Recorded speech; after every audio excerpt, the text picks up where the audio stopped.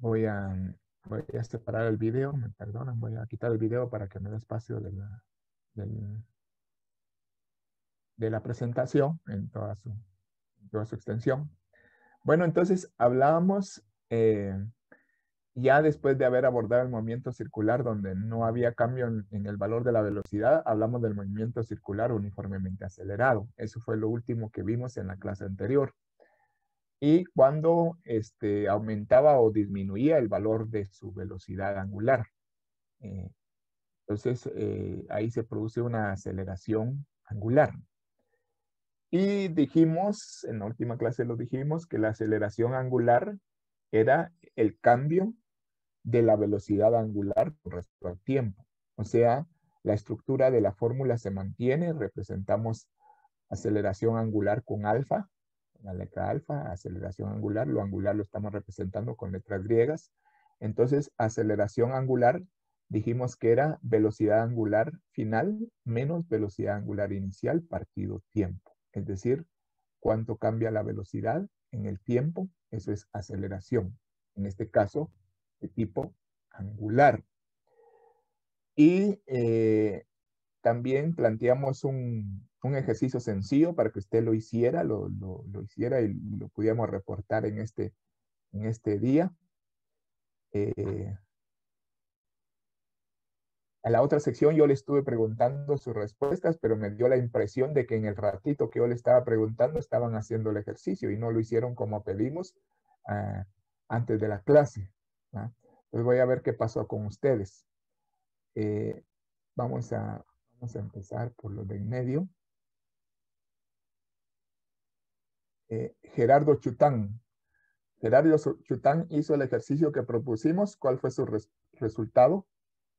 Eh, el resultado que yo obtuve fue de 0.75. Ajá, hubo un ligero, gracias por haberlo hecho. Sí, hubo un ligero inconveniente ahí, se lo voy a aclarar en un momento. Vamos a ver, pero, pero sí, noto que lo hizo por la respuesta que me da. Juan Casía me dice cuál fue su resultado.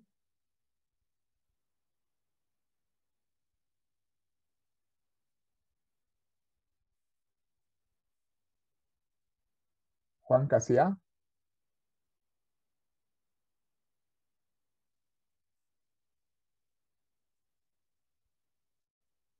0.75, me dice Juan Casial. ¿Por qué tenía que darle lo mismo y no es, totalmente correcto? Vamos a ver, Lilian Cuscu.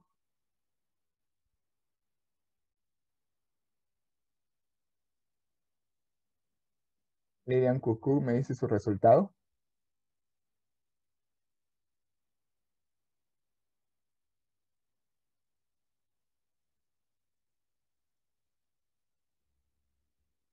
Recuerden que si yo no tengo respuesta después de 30 segundos, ya sea en micrófono o en chat, les doy marcado como inasistencia. Eso me da la impresión. 30 segundos, no es mucho. Igual pone Lilian Cucu. No es correcto. Ah, solo le voy a preguntar a Lilian Cucu que me escriba de dónde resultó esa respuesta, escríbamelo en el chat. ¿De dónde, de dónde obtuvo esa respuesta? Así en breve escríbalo en el chat. Lilian.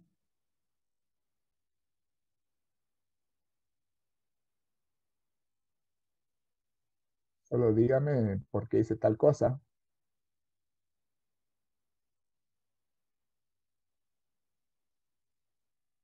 ¿Qué fórmula? La que tiene ahí enfrente, la de aceleración.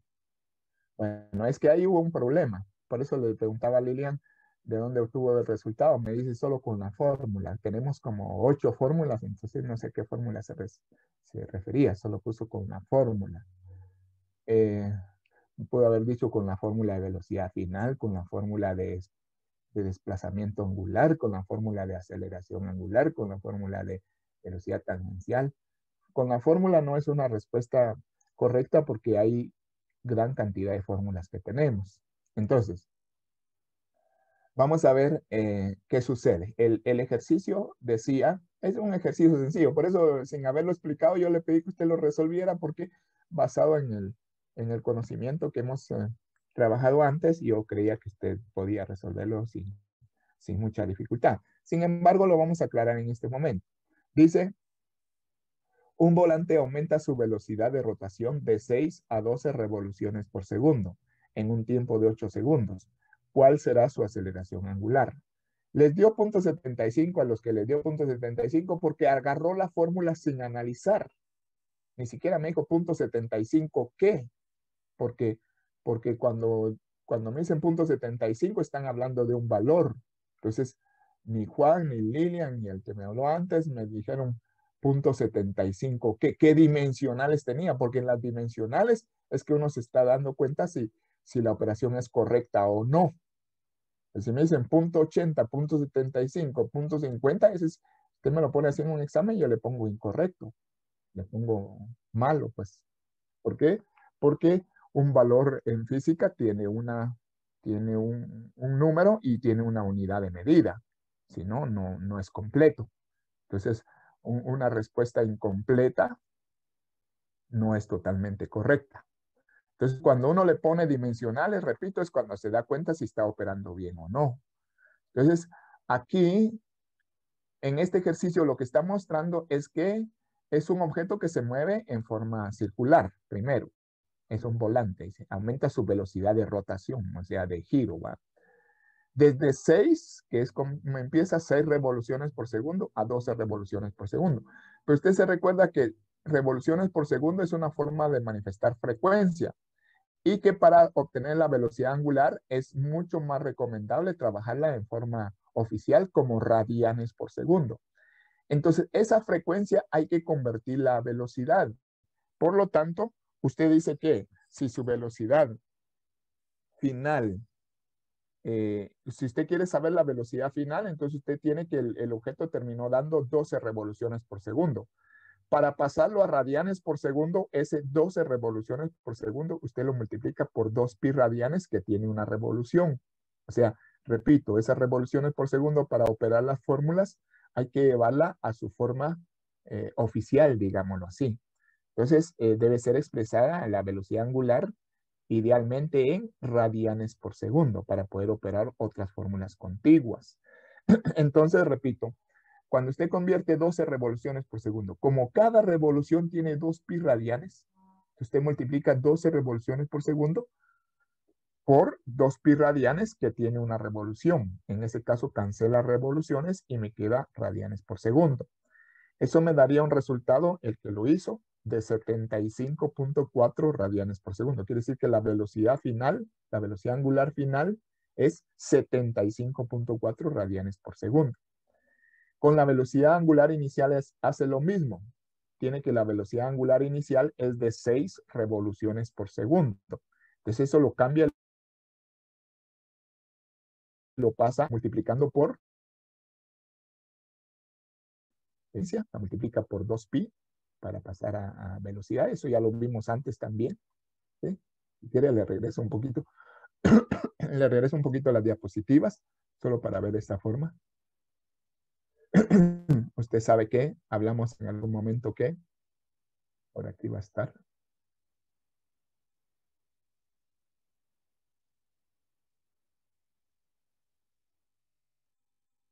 Que usted podía eh, obtener, si tenía la frecuencia, podía obtener la velocidad ah, angular multiplicando 2pi por la frecuencia. ¿Por qué? Porque la frecuencia está dada en revoluciones por segundo y 2pi tiene cada revolución. Por eso usted puede convertir eso en velocidad angular. y fue lo que hicimos en el, en el ejemplo planteado. ¿Sí? Eh, 6 revoluciones por segundo lo multiplicamos por 2pi que tiene, que tiene una revolución. ¿ah? Entonces me queda 37.7 radianes por segundo.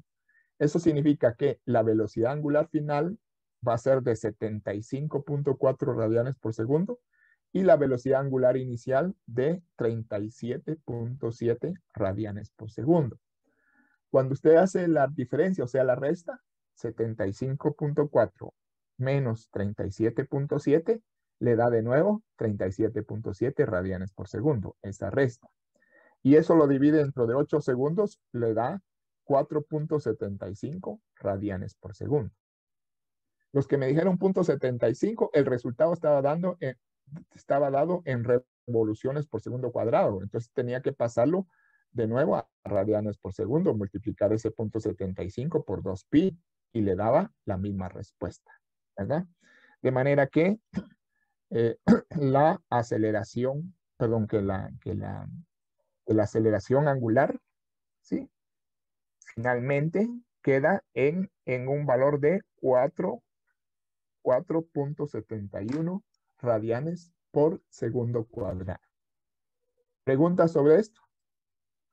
Copie la, eh, escriba la referencia para que usted compruebe con sus operaciones. El resultado es 4.71 radianes por segundo cuadrado.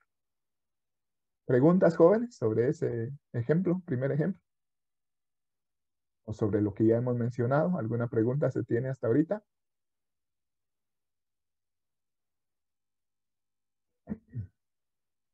¿No hay preguntas? Bueno, está bien. Entonces significa que usted ya lo hizo. Bien, eh, espero que todos lo hayan hecho. Si no, si no les salió bien en el momento, pues lo comprueban ahorita. Repito, a los que les dio punto 75 es porque le dio punto 75 revoluciones por segundo cuadrado. Esas revoluciones hay que cambiarlas a radianes multiplicándolas por 2pi. Pero la forma más correcta es que usted esta velocidad angular final usted la, hace la conversión, le resulta 75.4 radianes por segundo. La velocidad angular inicial le resulta 37.7 radianes por segundo. Pues cuando aplica la fórmula, le da 4.71 radianes sobre segundo cuadrado. Bien. La otra aceleración, porque dijimos que aquí había tres aceleraciones, la, la centrípeta que ya la estudiamos antes, la aceleración angular, que la hemos visto en la clase anterior y la volvimos a repasar ahorita, y la aceleración tangencial. La aceleración tangencial es, como su nombre lo dice, es el cambio de la velocidad tangencial.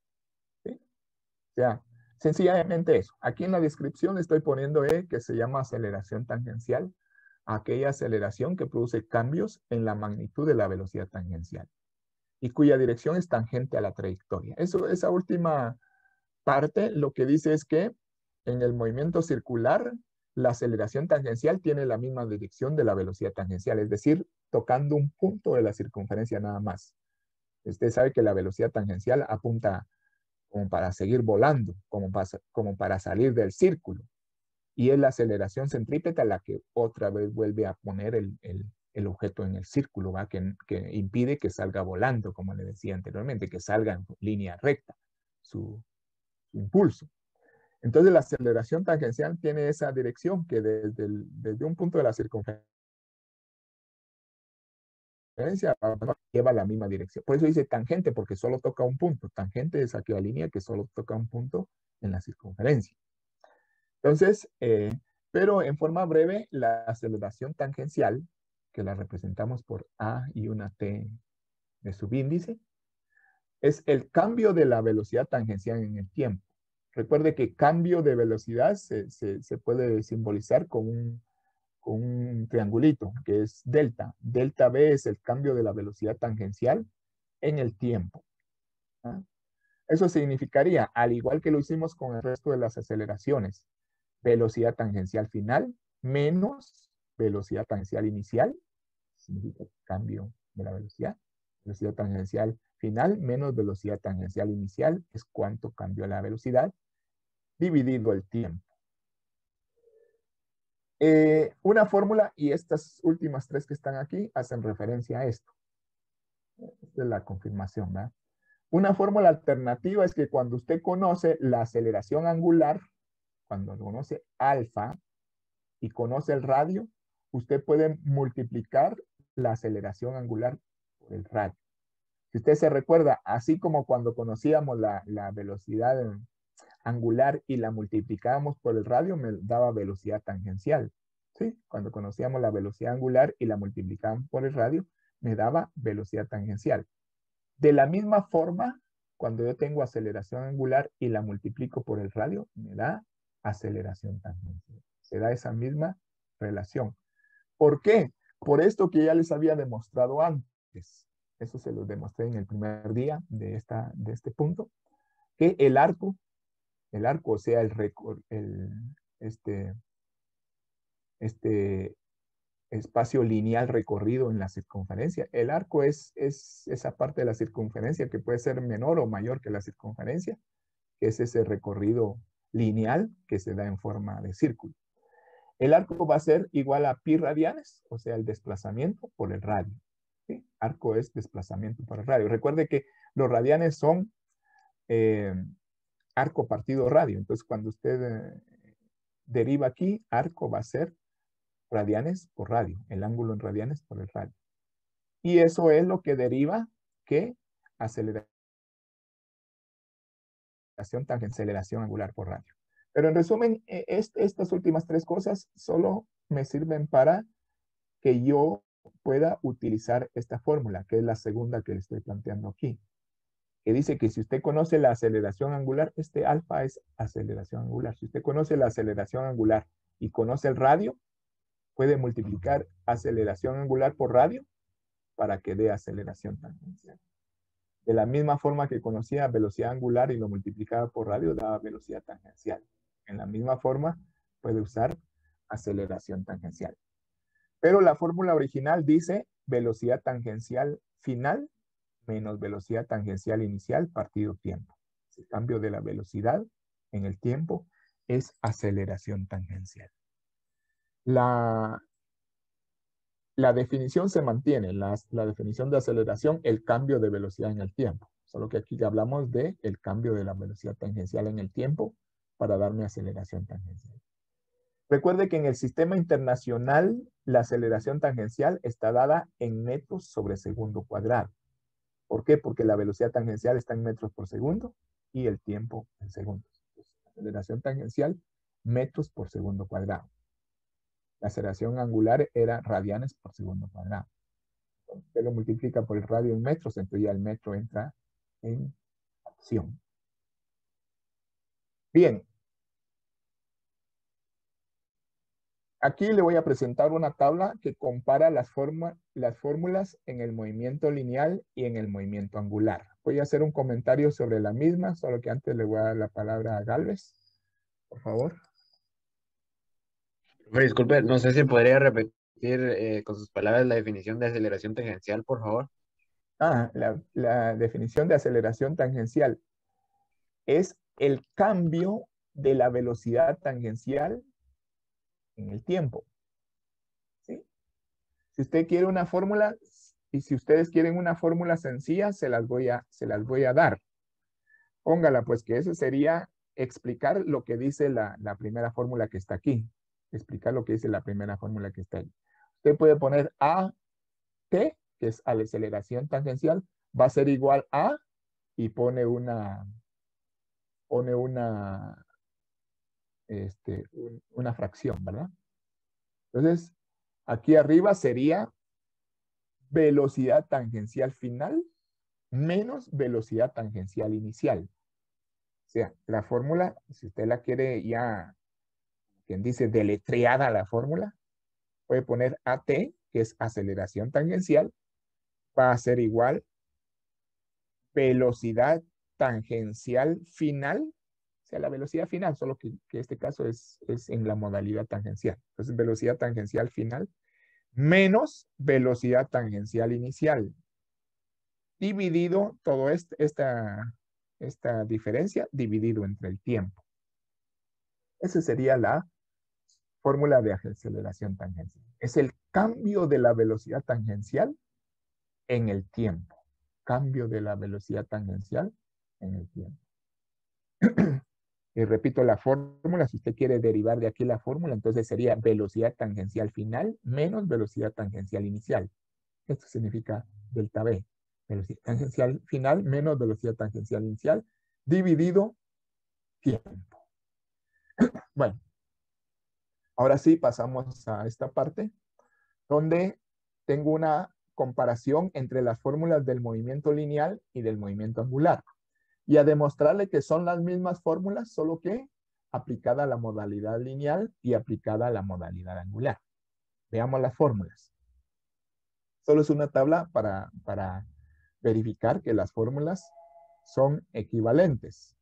Entonces, velocidad final va a ser igual a velocidad inicial más aceleración por tiempo. ¿Sí? Denme un segundo, por favor, disculpen.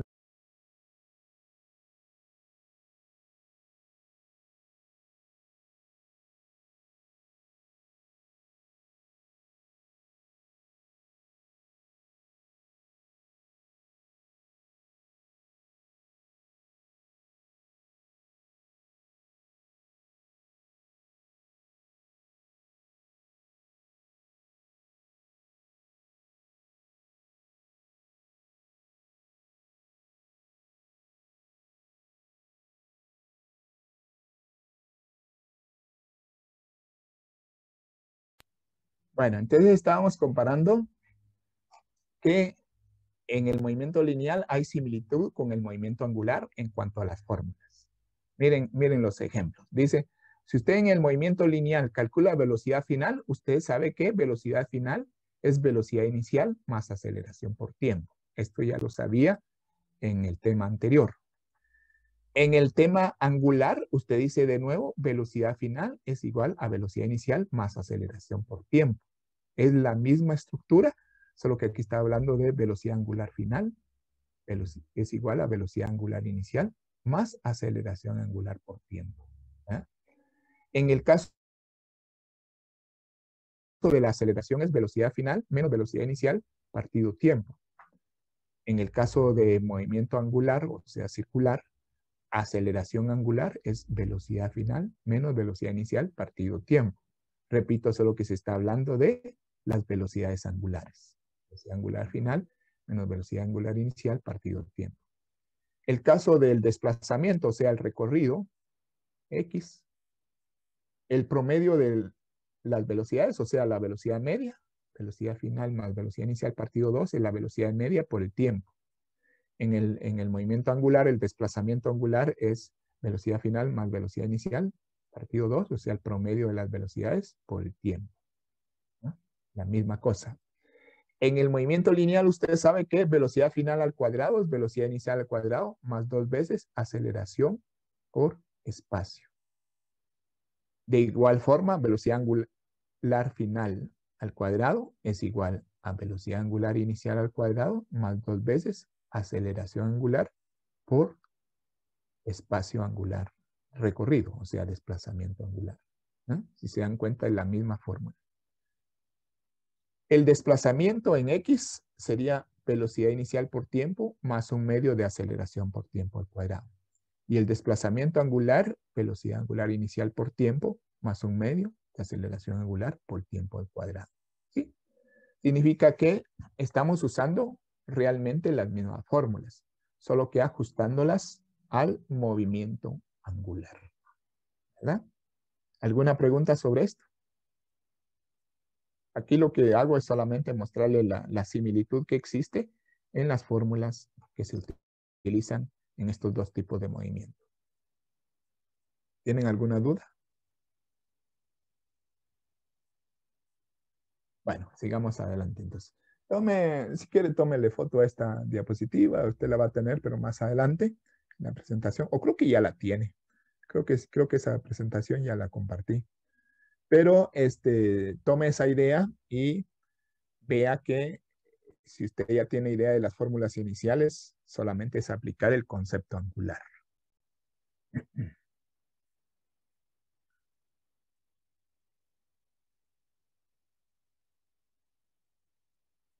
Bien, aquí está un ejercicio para darle, darle un poquito de, práctica al tema de, movimiento circular con aceleración. El ejercicio, un rueda de esmeril. El esmeril es un, aparato, una máquina que usan en algunos talleres, ¿verdad? Que tiene una rueda. Es una rueda de esmeril que gira inicialmente con velocidad angular. Fíjese que está dando ahí una velocidad angular inicial de 6 radianes por segundo recibe una aceleración constante de 2 radianes sobre segundo cuadrado. durante un tiempo de tres segundos. Nos están dando tres cosas. La velocidad angular inicial, que lo dice. La aceleración, que aunque no nos dice qué aceleración es, la forma como se expresa, usted inmediatamente detecta que es una aceleración angular, en radianes sobre segundo cuadrado. Y el tiempo de tres segundos. Con esos datos hay que calcular la velocidad angular final y el espacio angular recorrido. Entonces voy a dar unos minutos para que usted haga el ejercicio y luego le pregunte a algunos que nos compartan su respuesta o su procedimiento. Entonces, eh, trabaje ese ejercicio y eh, le pregunto su resultado en unos momentos. Si tiene alguna duda, me puede ir preguntando mientras va trabajando.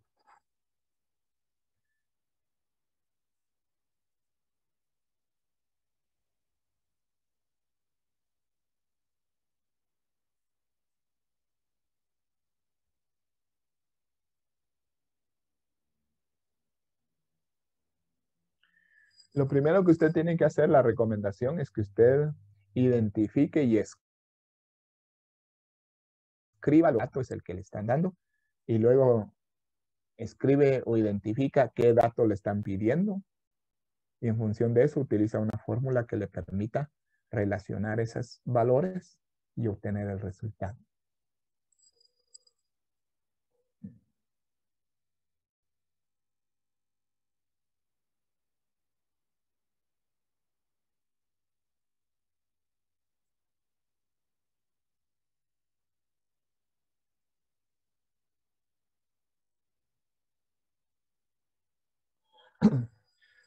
Repito, si tienen preguntas, me las, me las va indicando de una vez, porque cuando yo le pregunte, no me va a decir, es que lo estoy haciendo, pero tengo una duda aquí. Hasta que yo le pregunto, es que usted me dice que tenía una duda.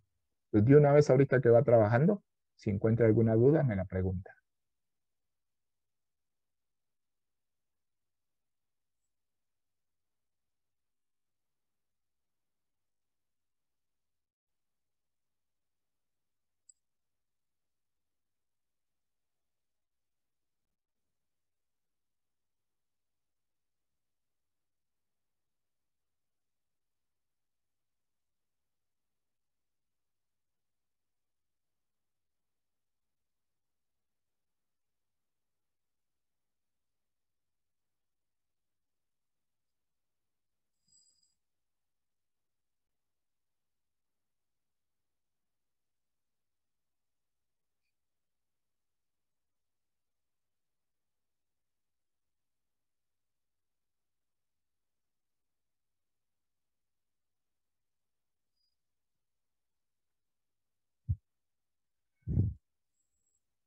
Ingeniero, una pregunta, ¿cuál es la dimensional del espacio angular recorrido?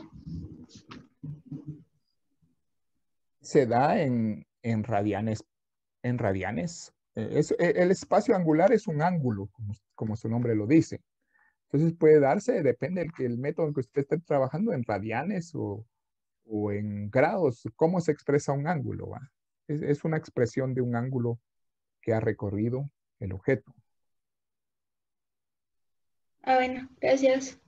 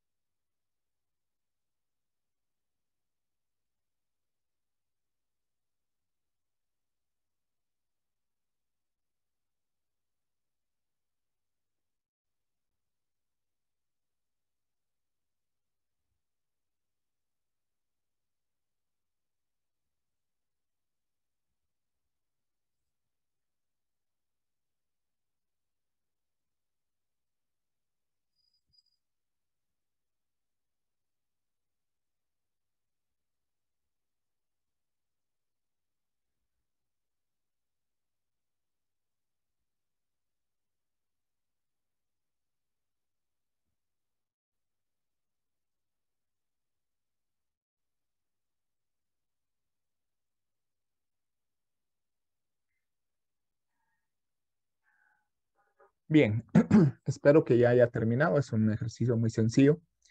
Vamos a ir entonces. Ya le pregunté a los de en medio, a los finales. Melissa me dice su respuesta de la primera parte de la pregunta. ¿Cuál es la velocidad angular final?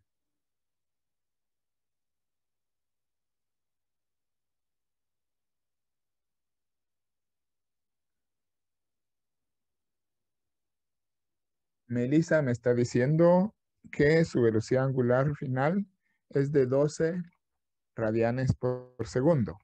12 radianes por segundo, dice Melissa. Eh, vamos a ver.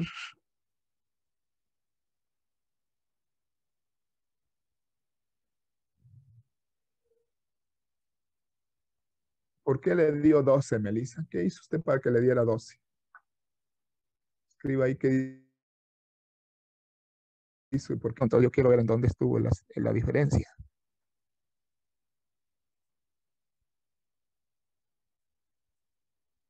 Escriba ahí, Melissa, de dónde sacó 12.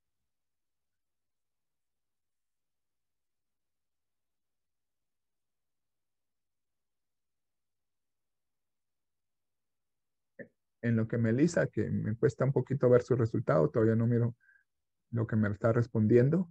En lo que Melissa responde, que estoy pendiente de Melissa, no la he olvidado. Entonces le voy a preguntar a Naidelin Campos cuánto le dio el resultado la velocidad angular final. De 12 radianes por segundo, ingeniero. Igual que Melissa, ¿qué hizo? ¿Usted sí me puede decir qué hizo? Eh, sí, utilicé la fórmula que dice velocidad angular inicial más aceleración por tiempo. ¿Y cuál era su velocidad angular inicial? De 6 radianes por segundo. No. 6 radianes por segundo. Ah, sí, la que está ahí, ¿verdad? Sí, esa. Ya. Y la aceleración y el tiempo, pues los mismos que aparecen ahí. Vaya, está bien. Perdón, es que yo me estaba fijando en la segunda respuesta. ¿Me puede dar su segunda respuesta? A mí me dieron 27 radianes. 27 radianes. Sí. Vaya, este, vamos a ver ahorita.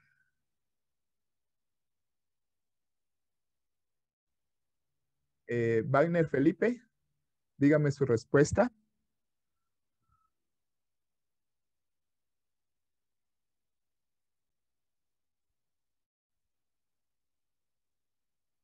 Eh, a mí me dio 12 radianes